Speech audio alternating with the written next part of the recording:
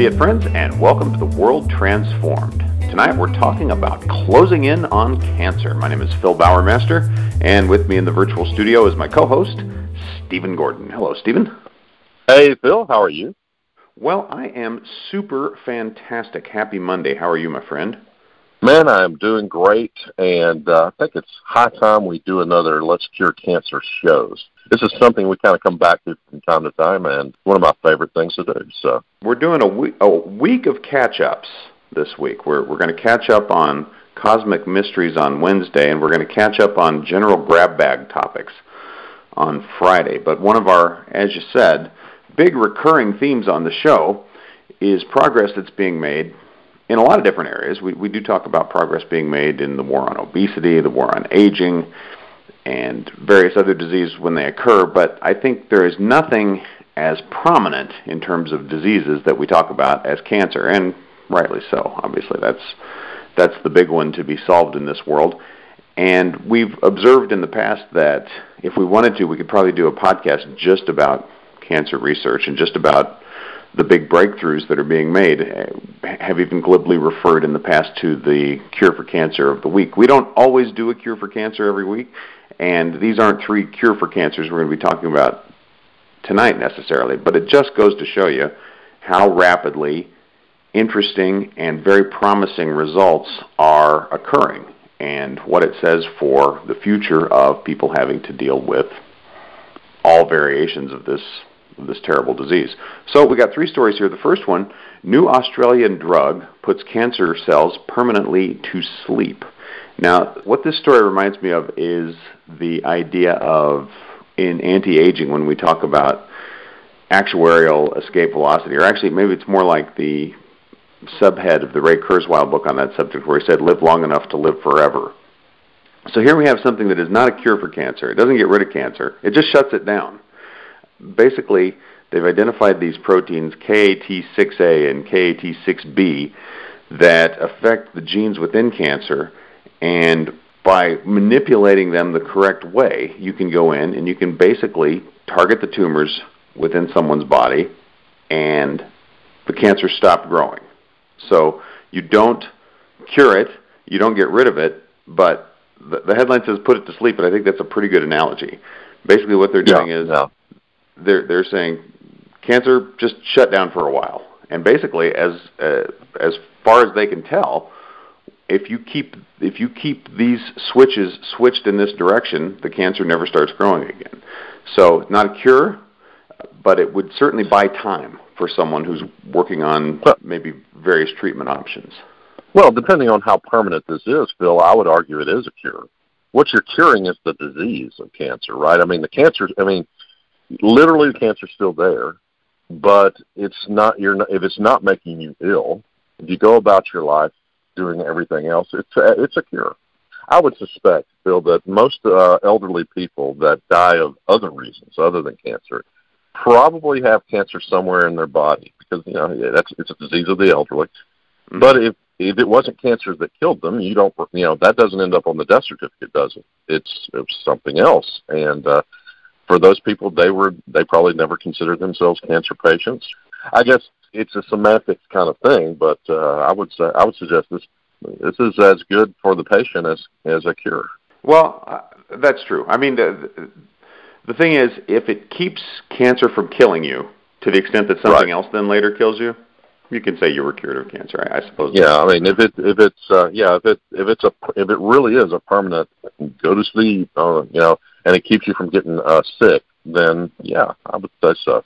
What I don't read here that's established that I would want to see more of, and hopefully this is the case, is that a different kind doesn't pop up, or that the same kind doesn't pop up in a new tumor tumor eventually, right? Yeah. The, those are the things where if you were cured, to me that's what I'm looking for in a cure for cancer, right? So I'm I'm I'm being very fastidious, I suppose, in, in how I'm going to define the term.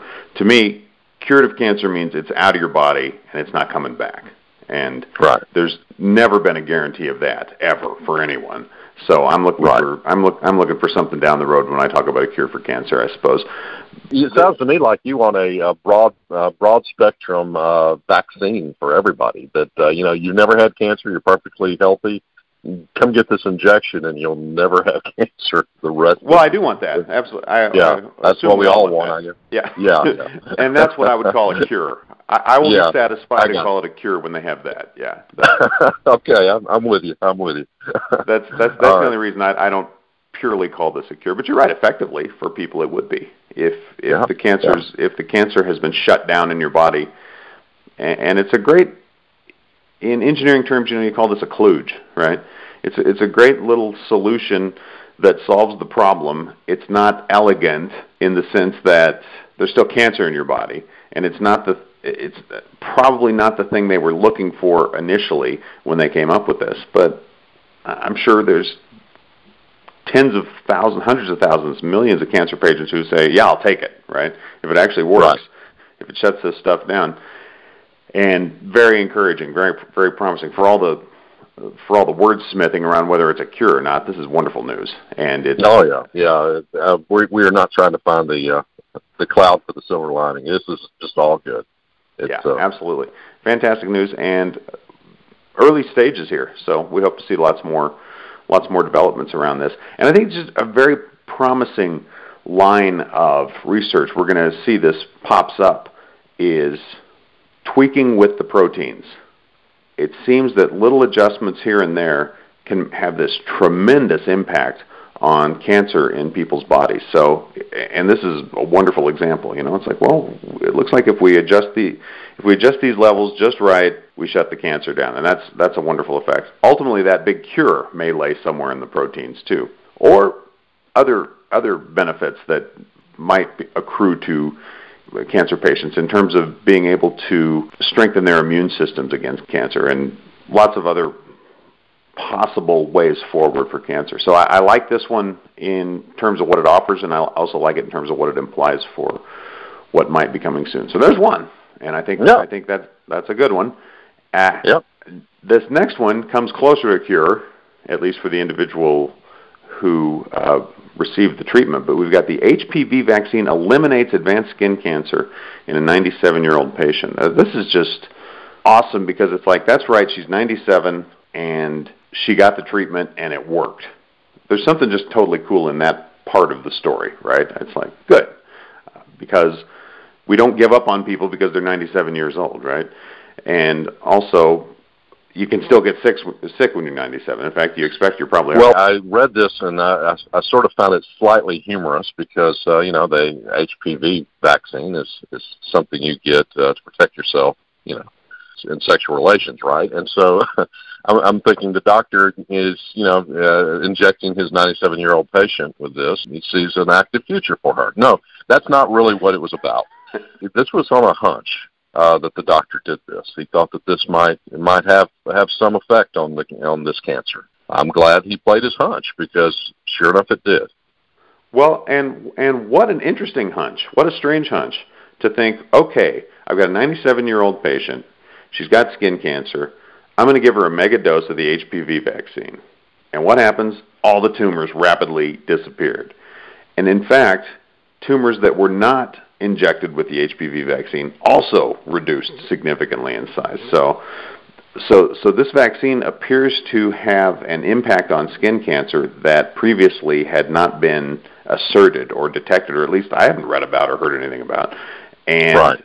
this is the first instance of this that that has occurred. So we're going to see a lot more on this, I hope, and it's it's just extremely promising. But I think you know to go back to your original point, there's something to be said there for the fact that we're going to quickly reach a point where we no longer think that being 85 or 90 or 95 is you're essentially dealing with a walking dead person, right? Right. What you're saying, kind of tongue in cheek, is true. That you won't Right. assume that their that their career is over, that their sex life is over, that that any of those things that we've just kind of written them off, right? It's like, well, 97 years old. What does that mean? It means she sits in a chair, maybe if she's really healthy, and lies in bed most of the time, right?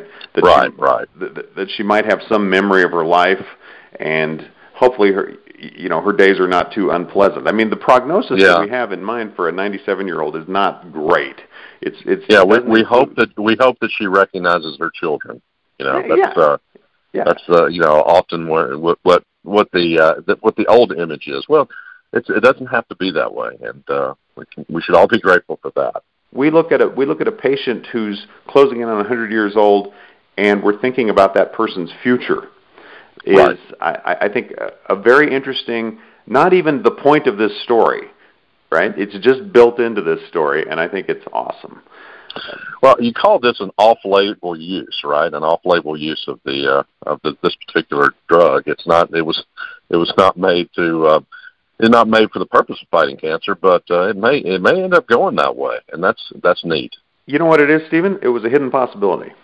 Right. That's what that was, and and and it goes to show you that we've got a lot of these adjacent hidden possibles in medical treatment.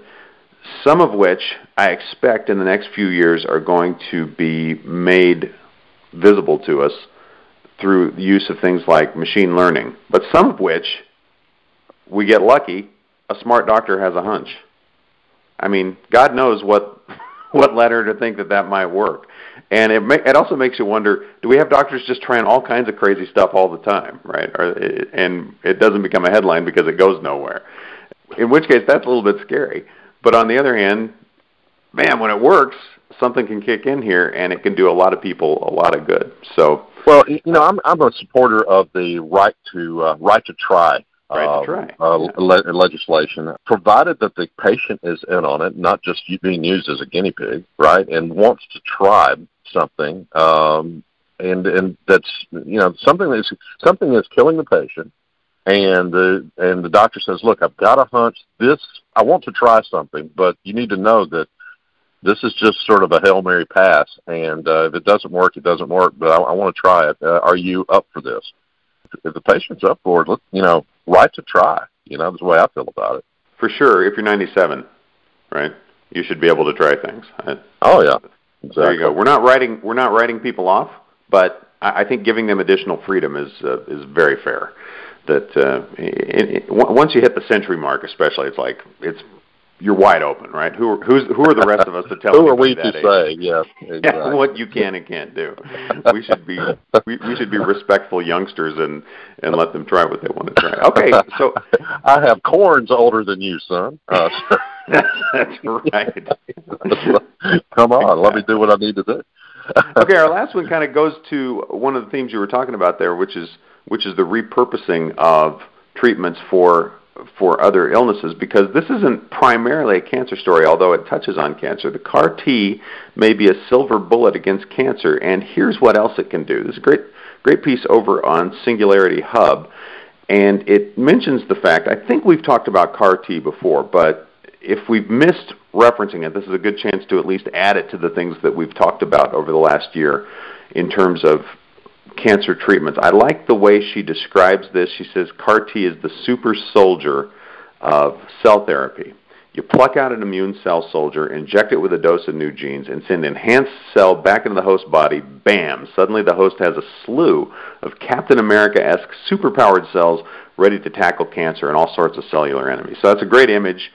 And uh, if you follow this story, there's links to more detailed stories about how CAR T is being used specifically against cancer. It was developed for that, and it's this it's this enhanced immune system going in against cancer. And we've talked for years now about how the body's own immune system might be the most effective treatment for cancer. So this idea of an augmented immune system, where, where you take you take your immune cells and you tweak them and you put them back in, and boom, suddenly you're fighting cancer in all new way, is exciting.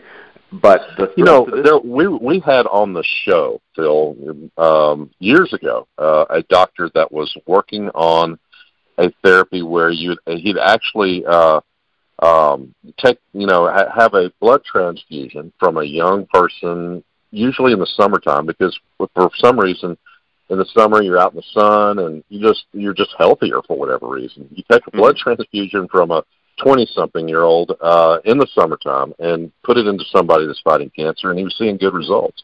It was Yep. basically it was uh, superpowering their immune system. Yep, that was And, Dr. uh, Dr. Zwing Si is who that was. Well, that's right. That's right. I, I suspect that what we're seeing here is a zeroing in of what was really going on in that early, early type therapy. That's my hunch. Phil, so uh, well, take that for what I think will. I think you're right. It, it's been it's been demonstrated for years now that our own immune systems potentially have the capability to shut cancer down. And Oh, I, I don't- I don't think there's any doubt. In fact, most people that have, uh, that think that they've never had cancer before probably have, and their and their immune system took care of it. right. Just things can go wrong, and when when your cells divide, and usually the body realizes it and attacks it, and it's done before you know you're you've got a problem. yeah, that's when uh, everything works the way it's supposed to. When it doesn't, right. then you get cancer, right? That's and right. So it's like, well, how do you cure cancer? Well, you can say, well, let's go find some exotic material that will fix cancer, or you can say, oh, wait, maybe we can get that immune system, which was going to deal with it anyway, to fix it. And that's what that's what was we're gonna, on, we're going to turn you into Captain America to fight this off. I love that. and that's I what love that. and image. that's what CAR T Yeah. does. That's right, exactly. That's Uh, awesome. That's, that's what it does. So, but if you read the story, more good news. It's also now being looked at as a potential treatment for a whole host of autoimmune illnesses, which, when you think about it, only makes perfect sense since it's a boost to the immune system. And this is my take, my personal speculation. You heard it here first. As I read this, CAR T looks like it might be something that will eventually be effective in treatment of aging that that the damage that's done to our cells that we call aging might be something that can be addressed by an enhanced immune system as described here. you have, let's let's imagine you have a senescent cell in your body, Phil. I, I you know I, I, I find that hard to believe in someone so young, Phil. But you let's imagine you have a say I have one or two. Absolutely. one or two, yeah. Yeah. Uh, you have one or two of these senescent cells. You you have a CAR T immune cell that encounters it, uh, takes care of it, right? Takes it out, and uh, and and instead of uh, your body trying to feed and nurture this old cell, it's removed from the body, and and younger, more potent cells are what you were left made of, right? Exactly. You, you, you cool. grow a a younger, healthier base version of yourself over time. Now, that's a Right. great model. All kinds of scary potential ways that could go wrong. Clearly, when when you Right. when you're putting something in to start shutting, you- start attacking your own cells, that becomes almost cancer in its own right. But it's going after the right ones, right? It's it's hitting the ones that you absolutely want to hit. Anyway, that's our speculation. Um, and, and it just goes to show you that cancer treatments are not only offering hope for cancer patients, but also offering hope across the board for all of us. So, and, and since we're all Awesome. potential cancer patients, I, I guess that, that that only makes sense. It's too. sort of redundant almost. Even, even if uh, you never uh, were destined to suffer from cancer, then uh, there's we are, are all getting older too. So that's pretty. yeah, cool. offering offering additional hope, uh, autoimmune, potentially aging, and we'll probably see some other things as well. So we will stay tuned. There's a lot more good news on cancer to come, and we'll be reporting it. That's going to do it for this edition of the World Transformed. Stephen, great talking with you. Great having you all with us. We will be back on Wednesday with a brand new show. And until next time, live to see it.